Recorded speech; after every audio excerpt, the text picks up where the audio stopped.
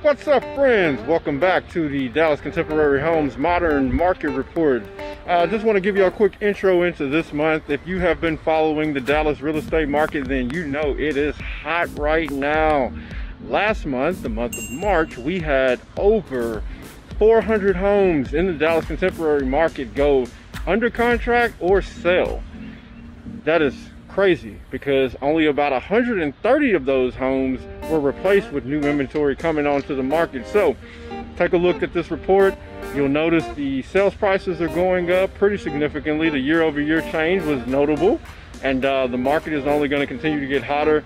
Expect some crazy numbers for April, but uh, regardless of what the numbers are doing, do know that if you are looking for a contemporary home in Dallas, then we are your authority and we will help you buy or sell your contemporary home. Fast and simple, period.